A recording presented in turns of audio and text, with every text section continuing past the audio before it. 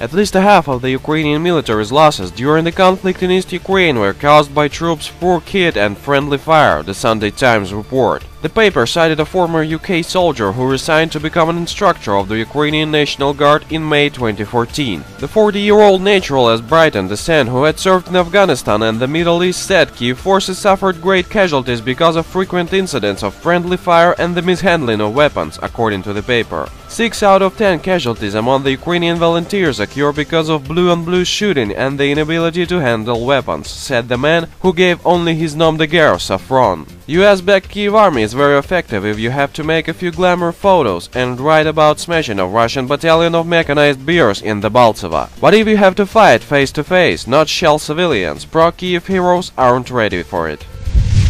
People's Army of Donbass and pro-Kiev forces in eastern Ukraine have announced they will withdraw heavy weapons from the front line following Saturday's exchange of 191 prisoners. This comes as OSCE monitors have visited the devastated city of Debaltseve. OSCE monitors are now waiting for the documented evidence of the pullout, such as inventory lists, routes and locations of concentration of the weapons. However, they won't observe the process itself. German Foreign Minister Walter Steinmeier said Sunday that the conflict in eastern Ukraine may be showing signs of de-escalation following the prisoners' exchange. But Kiev with US masterminds have found another cause to save tense situation.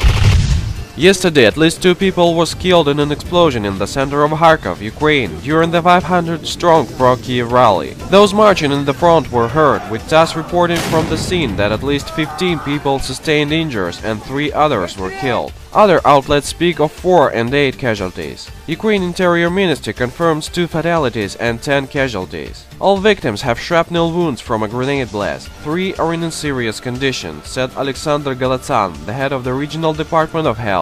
An anti-terror operation has been launched in the explosion's aftermath, said Alexander Turchinov, head of Ukraine's Security and Defense Council. The attack on the so-called Peace March of pro-Kiev patriots was launched in the same day when Kiev had to start pullback of arms, and German foreign minister said about the escalation of the conflict. What a surprise! Also, four suspects in the incident were immediately captured by Ministry of Internal Affairs of Ukraine. Not need to be genius to forecast that Kiev will say they are agents of Russian FSB or GRU or some kind of Russian-controlled agents. And new wave of crisis will rise in Ukraine. Remember, the head of Ukraine's Security and Defense Council Alexander Turchinov is well-known representative of Party of War on Ukraine. Alexander Turchinov have been idea monger of pro-Kiev Azov battalion offensive at Novoazovsk from Mariupol after accepting of the new Minsk agreement, and he have taken a part in it himself. Also, Turchinov is a member of US-backed Ukrainian totalitarian sect Word of Life. Headquarters of the sect is based in the city Tulsa in the state of Oklahoma, USA. Can pro-US secretarian follow the goal of peace in Ukraine or he only perform Washington's offers? Answer is clear. We thank our information partners for help with spreading this video news. Subscribe to our channel to receive up-to-date information on the situation in Ukraine and current geopolitical events in Europe.